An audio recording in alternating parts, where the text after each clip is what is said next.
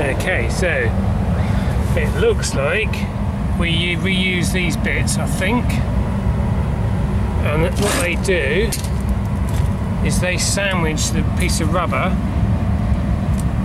Um, and as you tighten it up, it squashes and it's got to go out, out um, to the, you know, basically it seals against the outside and the inside as it's squashed.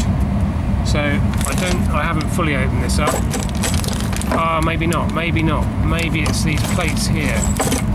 As I said, these are obsolete. Ah, I don't know. I'm not sure. Anyway, let's get this all apart and then we'll have a have a another look. Okay, we're just pulling these out with these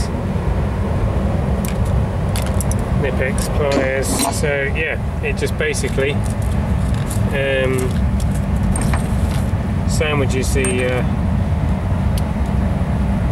little rubber uh, thingy in the hole and as it's squashed it seals around the outside and the inside. That's basically the gist of that which is surprisingly basic really. Um, I think we might clean some of this rust off of here quickly with the whizzy wheel. Um, and then we're going to take all the bits out of here and try assembling them and see if we can come up with something that makes sense. We've got two of these plates, so... Oh, no, no, no, I don't think it does. Maybe, oh... That's going to go on there like that. Maybe... Maybe them rubber bits go into them recesses there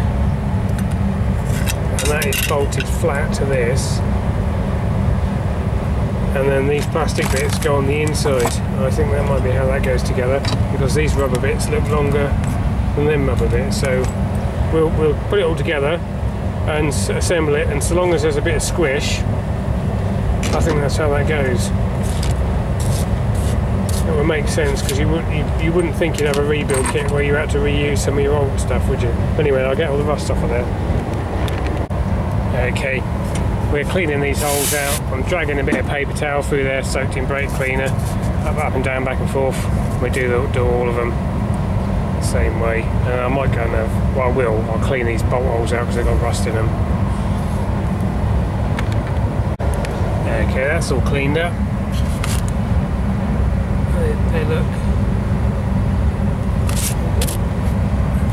don't look too bad. I think there's just a bit of marking in there. There's he's had some uh, staining sort of thing, watermarks. So it's obviously it's obviously had condensation in there because the things don't run for 11 months of the year over the winter and everything. But I think we've got them them holes look um, they look clean. So right, let's have a go at assembling this lot, see how it looks. Right, so that's all those in there. I've put a tiny bit of oil on them because these were really tight. These ones slid in a bit better, but I thought they've got to be, they've got to move to squash, and I'd rather they squashed up nicely rather than hung up on the side because um, this is all just plastic. Don't want it snapping um, as we're doing it up. Um, so I think we'll put the, we need to get the bottom plates on. Uh, Yeah, they're square, so that should, in theory, stop these turning a bit. But, you know, you wouldn't want to reef on them. So that's got a square hole for that to go in. Um, so we get all these poked up because these actually these go up inside the tubes and then this has got a recess for that, that rubber to protrude slightly uh, and then we can just go around we'll have to just tighten them all in sequence um, carefully I have got some torque specs somewhere I've got to look up. Okay, um, that's all done. Uh, I did need to get them out flush. Um, that one could go, do we go in, in a bit, I think. So there's not much of a recess in there, only about a millimetre or two, one and a half mil, something like that. So we don't want too much sticking out the top because if we're not careful we're going to get our bulge in the rubber outside of the plate. We want the bulge to be in the centre. It can't be below because that, that bit goes up inside the chair, the hollow bit. But we want so this plate, into my mind, I'm working without any instructions here. You just get the bits. I don't give you anything. How to with it? Um, that needs to go on there and be tight to this. So as we tighten this up, we're not making a bulge outside, if you know what I mean, between the plate and this. This needs to be flush to that. Um, yeah. Right, that's all torqued up. So it's kind of squashes the rubber sort of flat like an O-ring, so it must seal all through the bore hopefully and then against the face. So anyway, that's how it seems to go together. There's no way you're going to lose all that rubber in, in the actual thickness of the metal. So I think that's how it has to go together. Time will tell.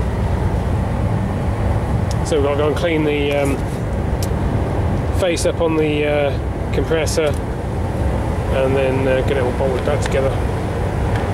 Okay, I've got that cleaned up. Um, need to clean the threads out and need to get the inside of this a wipe out, get any dirt out of the inside of it and then uh, we've got the fun of putting the wires back on in the right place.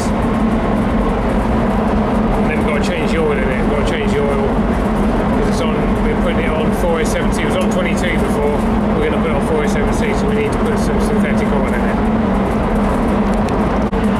Okay, just got to try and figure out how this all goes back together. Um, got the gasket on there, I've got the bolts in there to stop the gasket falling off. Um, got six of these, so I think these might go on here. These bigger ones go the other side. Then we've got four, which would do them. And then we've only got three, so I'll be the lost one. And then there was only three in the. Um, we've only also got three of these washers, so I don't know. I'll have to look back at my previous video and see what I did.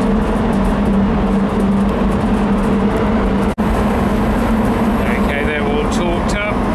And we've got U, U, V, V, W, W, Z, Z, X, X, and Y you can't see, but it's around there. And then we've got the two whites. I don't think they matter because they just have a link together. I think it's two separate thermistors. So, anyway. And then we've got to bolt this on and torque those up. Okay, we've got that plug loosened down there. I think that's the sump plug. Um, some of these big compressors have a plug both sides. Uh, yeah, it's a bit weird. It's got a screw in it and a thing. I don't know what that's doing. Hopefully that is the sump plug. If not, it might be this side. But uh, that one, I think, has got the oil um, pressure thingy in it. Let's see if we can see some oil in it first with the torch.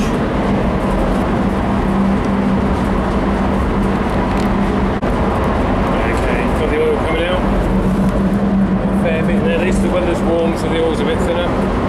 Um, I think these hold three or four litres.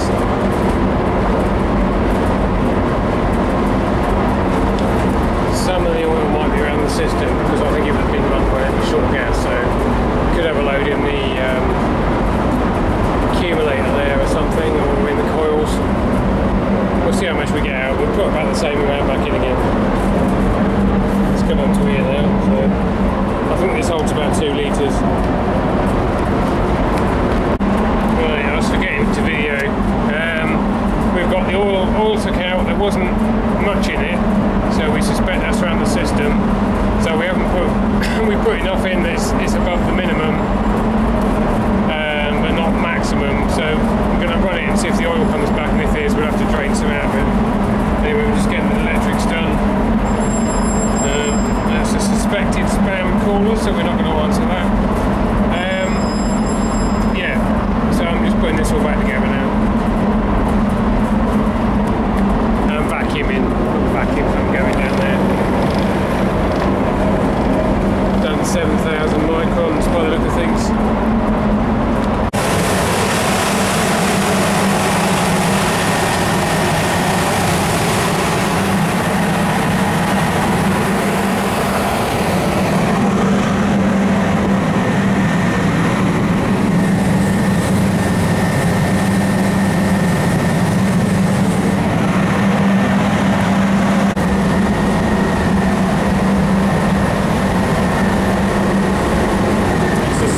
910